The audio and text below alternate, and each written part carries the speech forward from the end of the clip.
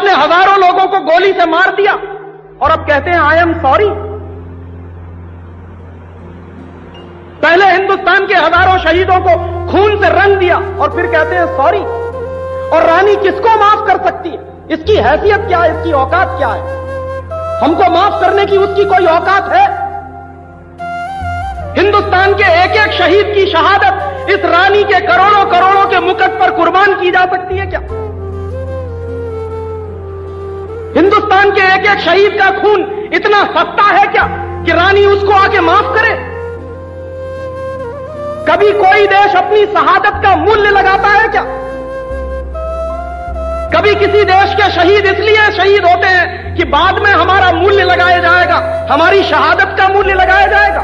किससे माफ़ी मांगेगी और कौन माफ़ करेगा इसको? और वो दिन तो यह देश भूल नहीं सकता।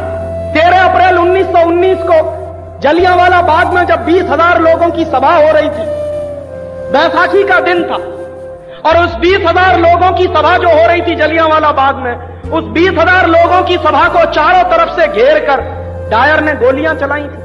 जिस जलियांवाला बाग में हिंदुस्तान के हज़ारों शहीदों का खून बिछा है, जिस जलियांवाला बाग में हिंदुस्तान के हज़ारों शहीदों ने अपनी कुर्बानी दी है उस जलियांवाला बाग में रानी को उतरने की छूट देना हिंदुस्तान के शहीदों की शहादत का सबसे बड़ा अपमान है।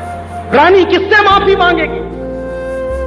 ब्रिटेन की प्रेस ने यह हंगामा मचाया कि जलियांवाला बाग में जाकर रानी माफ़ी मांगना चाहती है। किससे माफ़ी और कैसी माफ़ी?